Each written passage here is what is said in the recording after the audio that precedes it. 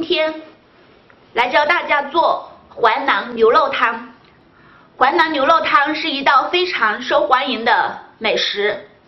我们做这个淮南牛肉汤呢，用了牛骨来熬汤，还用了鸡架来熬汤，然后呢会在里面炖牛肉，所以呢这道牛肉汤呢，它既有牛骨的滋养，又有鸡架的鲜香，同时。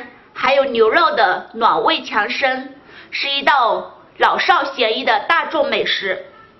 首先呢，我们来介绍熬这个底汤所需要的材料，主要是用这个骨头来熬汤。接下来我们再介绍调汤的材料以及香料包的配方。做这个底汤呢，所需要用到的是。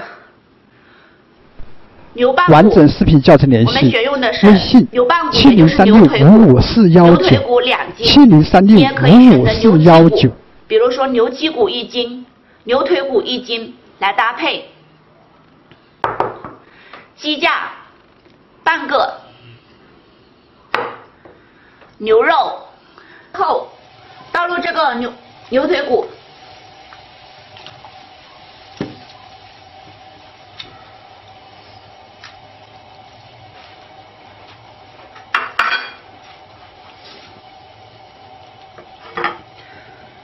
鸡架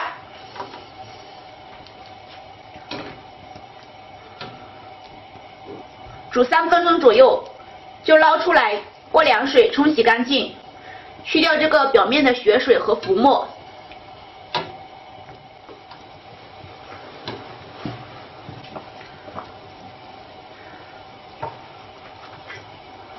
焯好水之后，关火，把它捞出来过凉水。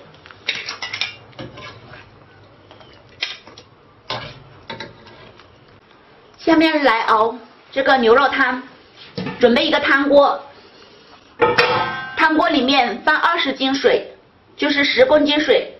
我们刚才配好的这个骨头呢，是二十斤水的量。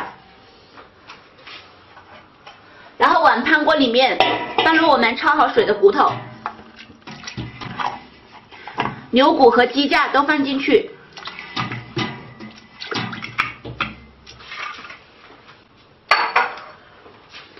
放入生姜，开大火把这个水烧开，然后再转小火，要熬煮三小时左右。这里也要说明一下呢，这个牛骨呢，我们是可以反复使用两到三次的。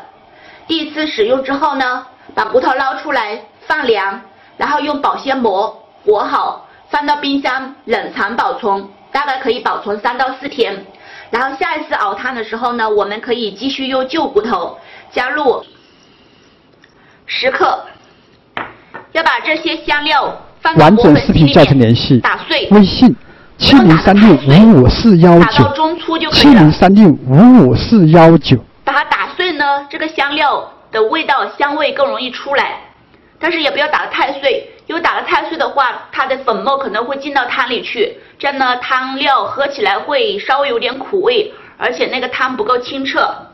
我们打到这个程度，这个是我们已经打好的，这里面加起来大概是五十六克的样子，我们就称五十六克香料。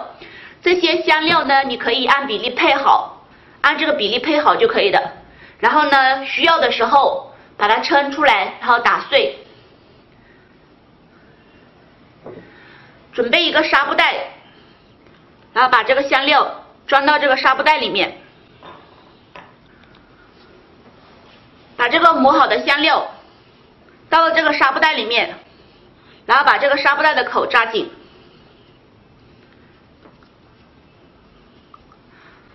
再把这个香料包放到那个汤料里面。跟牛骨一起熬汤。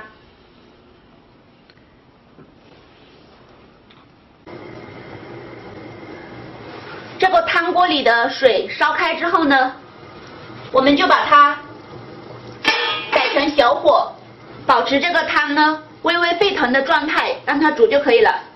这个是我们刚才的香料包，然后把这个香料包放在汤锅里面一起煮。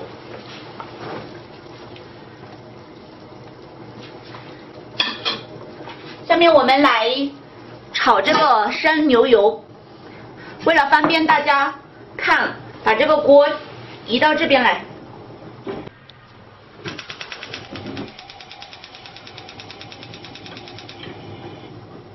调小火。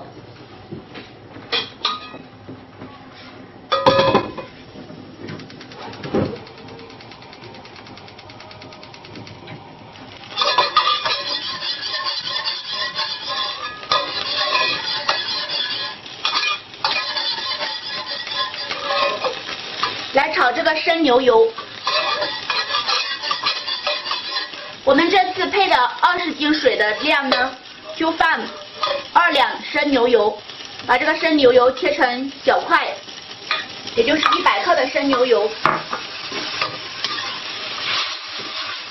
放到锅里面炒，